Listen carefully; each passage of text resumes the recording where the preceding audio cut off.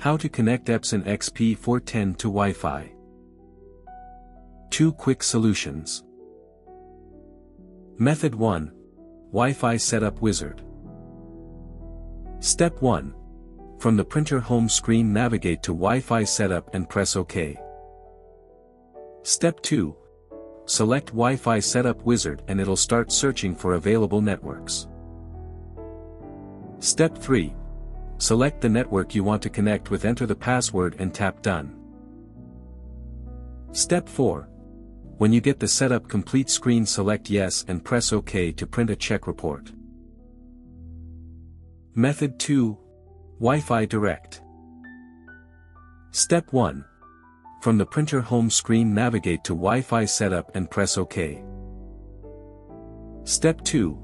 Select Wi-Fi Direct routerless setup and press OK. Step 3. Press the down arrow button then the OK button to change the Wi-Fi Direct password. Step 4. Enter the Wi-Fi Direct password tap Done and press OK. Step 5.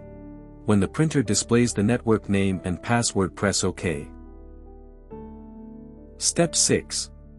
From your computer or mobile device navigate to Wi-Fi settings.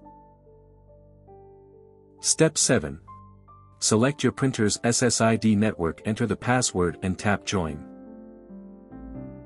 For more such help and information, visit us at www.printertales.com or call us at 1-857-557-6884 plus 44 161 518 4781.